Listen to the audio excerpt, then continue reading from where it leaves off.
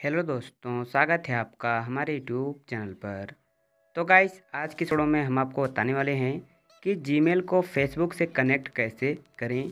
तो गाइस अगर आप जीमेल को फेसबुक से कनेक्ट कर देते हैं तो कभी भी फेसबुक में लॉगिन होने की कोई प्रॉब्लम नहीं आएगी।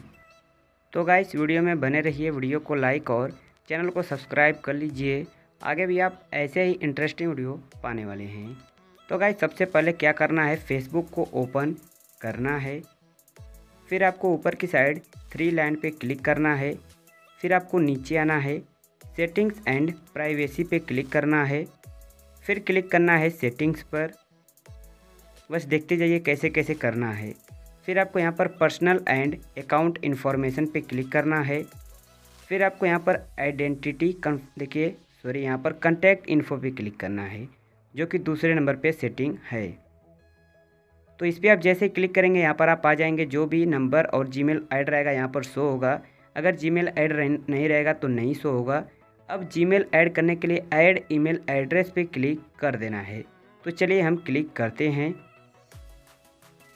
तो यहाँ पर हम क्लिक करते हैं ऐड ईमेल पे।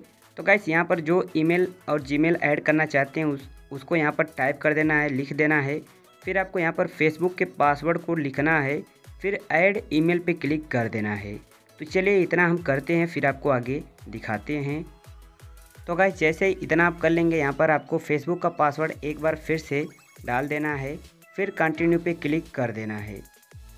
तो गाइज़ देखिए यहाँ पर पासवर्ड हमने डाल दिया है, अब कंटिन्यू पे क्लिक कर देना है। तो गाइज़ जैसे ही आप इतना कर देते हैं आपके जीमेल पे एक मैसेज चला जाएगा कि ये वाला जीमेल आपके फेसबुक से ऐड हो चुका है, और यहाँ पर आप देख सकते हैं, आपको बस यहाँ पर कंफर्म कर देना है, फिर ऐड हो जाएगा।